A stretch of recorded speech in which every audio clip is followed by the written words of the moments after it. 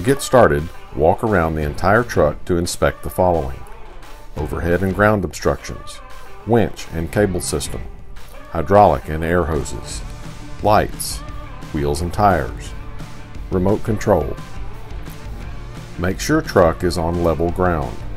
Set parking brake and put truck into neutral. Engage PTO. Dump the truck suspension. Chock the wheels.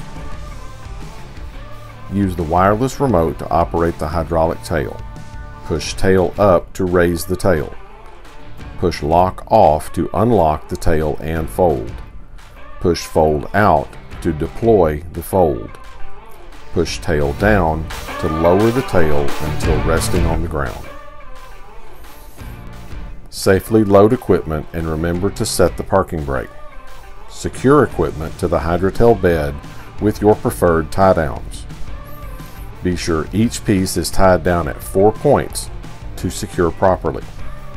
To unload, reverse the process. For more information, scan the QR code at the front of the truck bed or visit ledwell.com.